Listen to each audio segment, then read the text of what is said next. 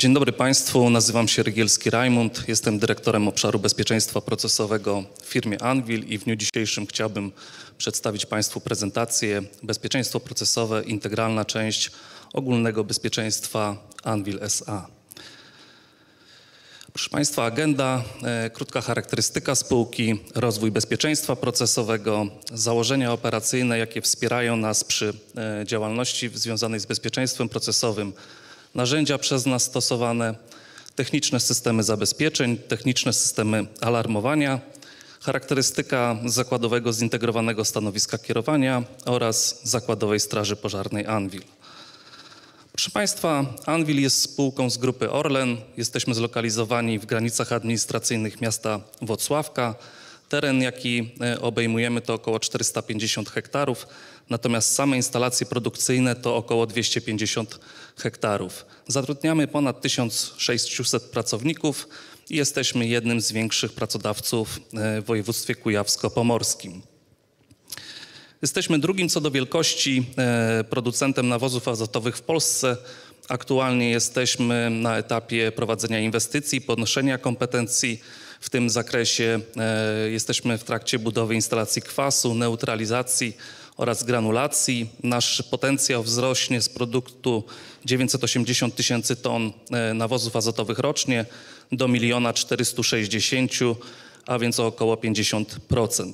Jesteśmy też jedynym producentem suspensyjnego polichlorku winylu w Polsce o zdolności produkcyjnej 340 tysięcy ton polichlorku winylu. W grupie Orlen jesteśmy ulokowani w segmencie petrochemia.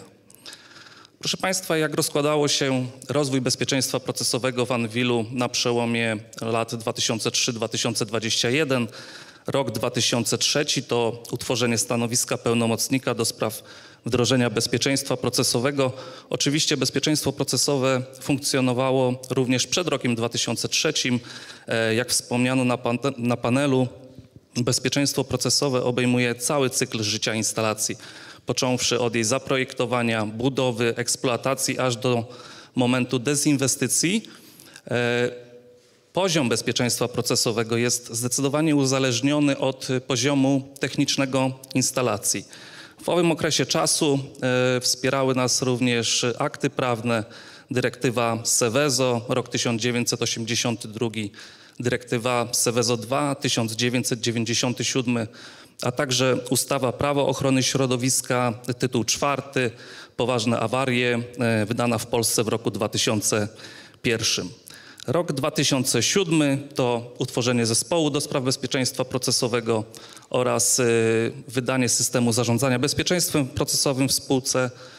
Rok 2017 podniesienie rangi zespołu do biura, natomiast rok 2018, rok przełomowy, kiedy decyzją spółki zarządu Anvil utworzono dedykowany obszar bezpieczeństwu procesowemu, obszar bezpieczeństwa procesowego, którego struktura, jak Państwo widzą po prawej stronie, jest niezmieniona do dnia dzisiejszego.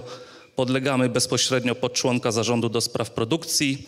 W skład obszaru bezpieczeństwa procesowego wchodzą trzy działy. Dział bezpieczeństwa procesowego, który zajmuje się bezpieczeństwem procesowym ogólnopojętym, dział inspekcji, tak zwany zakładowy dozór techniczny oraz dział dyspozytorów, który pełni rolę wsparcia obszarów produkcyjnych oraz wsparcia działań ratowniczych.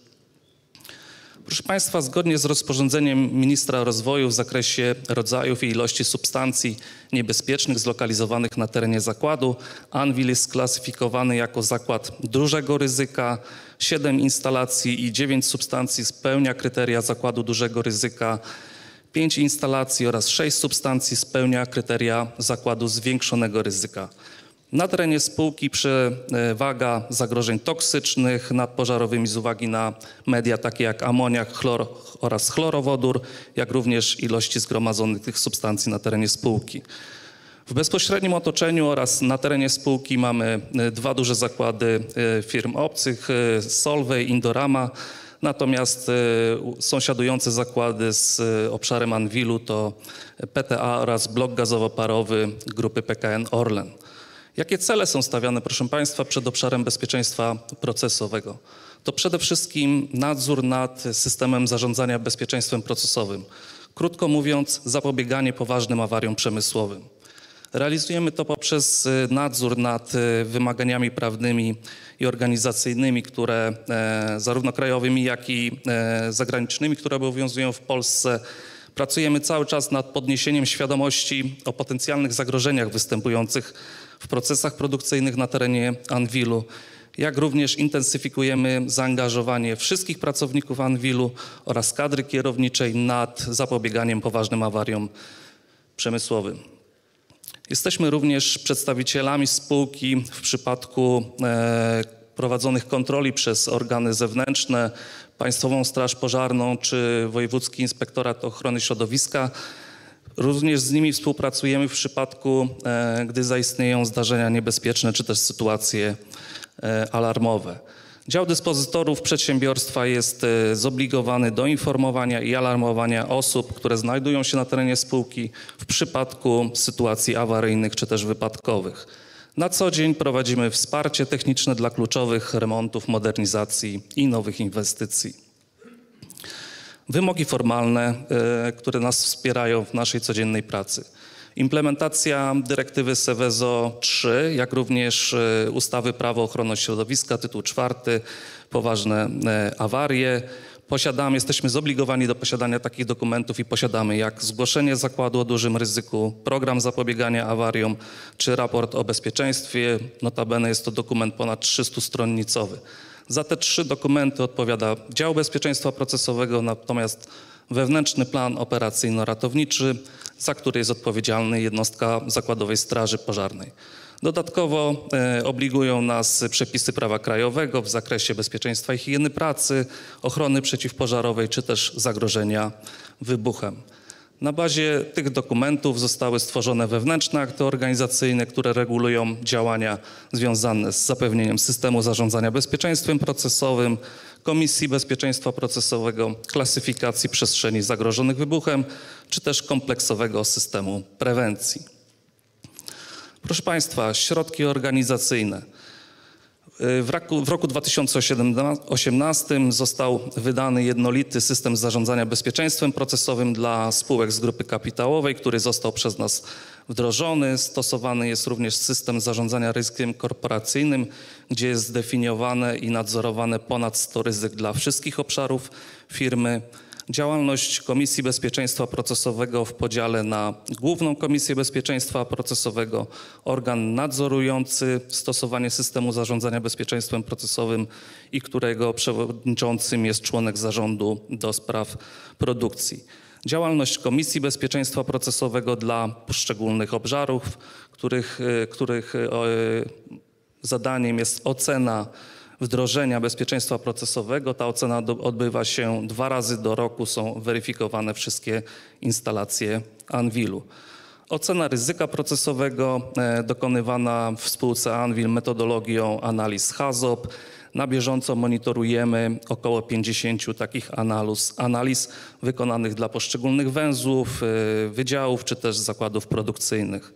Procedura zarządzania zmianą, e, rejestrowanie oraz akceptowanie zmian wprowadzanych na instalacjach, czy to w zakresie procesu, czy też w zakresie techniki. Zespoły do spraw bezpieczeństwa procesowego na terenie spółki funkcjonuje siedem zespołów, e, nieetatowych zespołów bezpieczeństwa procesowego. To jest ponad 30 osób, w znakomitej większości są to absolwenci studiów podyplomowych z zakresu bezpieczeństwa instalacji przemysłowych, którzy uczestniczą w ocenie ryzyka, w procedurze zarządzania zmianą, czy też e, biorą udział w komisjach bezpieczeństwa procesowego. Komisja klasyfikacyjna EX, autonomiczne utrzymanie ruchu, e, bieżąca ocena stanu technicznego instalacji poprzez wyznaczenie punktów oraz ścieżek obchodowych dla aparatowych e, instalacji, aby weryfikować na bieżąco stan techniczny ruchu instalacji. Ostatnio wdrożona lista kontrolna przed uruchomieniem instalacji, tak zwana checklista, gdzie po postojach remontowych, technologicznych czy też nieplanowanych poszczególni specjaliści spółki weryfikują stan instalacji i dopuszczają ją do ruchu. Kontynuując środki organizacyjne Safety Walk realizowane przez przedstawicieli zarządu Anvil SA, dyrektorów, kierowników oraz specjalistów biura BHP. Istotnym elementem jest szkolenie i edukacja dotycząca bezpieczeństwa procesowego.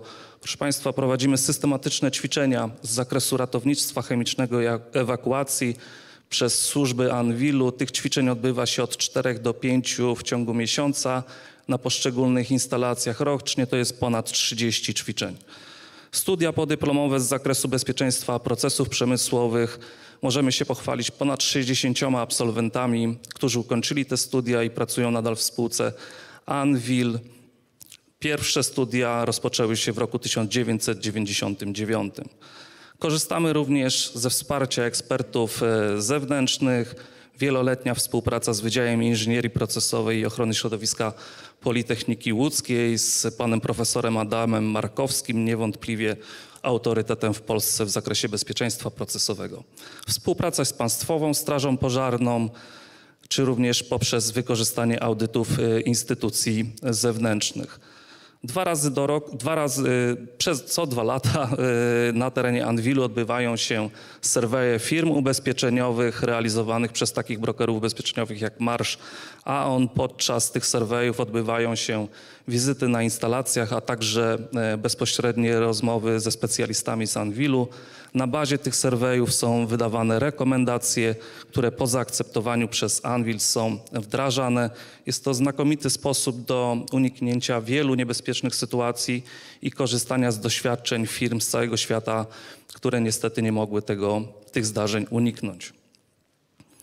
Z technicznych systemów stosowanych zabezpieczeń to e, instalacje produkcyjne wyposażone są w stały monitoring, stały monitoring detekcji substancji niebezpiecznych, czy też e, bezpośrednio pracownicy na danych instalacjach wyposażeni są w detektory indywidualne.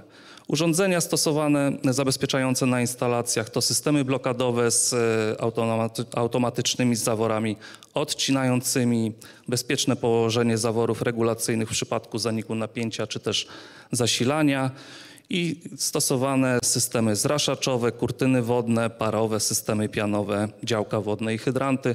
Proszę Państwa, na terenie ponad 250 hektarów mamy zlokalizowane ponad 550 hydrantów, które są dwa razy do roku weryfikowane, w tym jeden raz na sprawdzenie wydajności. Kontynuując z technicznych systemów zabezpieczeń, systemy gaszenia transformatorów, systemy gaszenia sterowni, stosowane obwałowania zbiorników, systemy zrzutowe, czy też stosowane opaski, obejmy do awaryjnego, szybkiego usuwania nieszczelności. Anvil współpracuje z firmą e, zagraniczną. Na bazie naszych informacji przekazywanych do nich powstaje projekt, który jest przekazywany firmie świadczącej dla nas usługi serwisowe. Ten, e, na bazie projektu jest wykonywana taka obejma, natomiast e, Zakładowa Straż Pożarna posiada uprawnienia do montażu i do wstrzykiwania masy w te, te, te obejmy i usuwanie nieszczelności. Proszę Państwa, co w przypadku e, awarii? E, teren Anwilu jest podzielony na e, 23 sektory alarmowania. Na, na, tych sektorach jest zlokalizowane 16 syren alarmowych, które są uruchamiane w przypadku alarmów e, drugiego i trzeciego stopnia. Alarm drugiego stopnia jest to alarm, który obejmuje teren całej firmy, natomiast trzeci stopień y, ogłaszamy w przypadku, gdy zagrożenie przekroczy, mówiąc kolokwialnie, ogrodzenie. Do alarmów pierwszego stopnia, alarmów y, ogłaszanych na danych węzłach czy na danych instalacjach, E, służą e, do ogłaszania buczki, światła ostrzegawcze alarmowe, a także system radiowej sieci dyspozytorskiej. Z uwagi na położenie Anwilu e, wzdłuż naszego ogrodzenia przebiega droga krajowa 91. Ta droga została też doposażona w blokadową sygnalizację świetną. Po ogłoszeniu alarmu jesteśmy w stanie uruchomić takie informacje jak stop, alarm chemiczny do przyjazdu służb policji. W roku 2018 celem e, zoptymalizowania czasu reakcji służb ratowniczych na zagrożenia przy e, budynku Zakładowej Straży Pożarnej zostało e, utworzone zakładowe zintegrowane stanowisko kierowania. W tym pomieszczeniu przebywają pracownicy trzech służb, dyspozytora przedsiębiorstwa, dyżurnego Zakładowej Straży Pożarnej oraz operatora monitoringu, monitoringu wizyjnego ochrony Anvil. Każde ze stanowisk jest e, wyposażone w szereg monitorów e, oraz e, możliwość łączności z, dział- z prowadzącym działaniami działania ratownicze, jak również szybką komunikację z Państwową Strażą Pożarną czy też Wojewódzkim Inspektoratem Ochrony Środowiska. W roku 1970 została powołana Zakładowa Straż Pożarna. E, W ubiegłym roku obchodziliśmy jubileusz 50-lecia. Jakie zadania są realizowane przez Zakładową Straż Pożarną? Przede wszystkim działania ratowniczo-gaśnicze, ratownictwo chemiczne, e, zwalczanie pożarów czy też klęsk żywiołowych, a po podpisaniu umowy z Państwową Strażą Pożarną Nasi e, strażacy są, e, mają możliwość oddelegowania do działań prowadzonych na terenie miasta i powiatu. W jednostce pracuje ponad 86 pracowników, w tym e, ponad 70 e, pracowników zatrudnionych w pododdziałach bojowych. Sprzęt, jaki dysponujemy, to pięć samochodów ratowniczo-gaśniczych, cztery samochody wodno-pianowe, jeden proszkowy, podnośnik hydrauliczny umożliwiający prowadzenie działań e, z wysokości, samochód ratownictwa technicznego, techniczno-chemicznego, samochód do prowadzenia pomiarów substancji e, niebezpiecznych podczas awarii, dwa samochody dowodzenia oraz specjalistyczny sprzęt pożarniczy i ratowniczy. Dziękuję Państwu.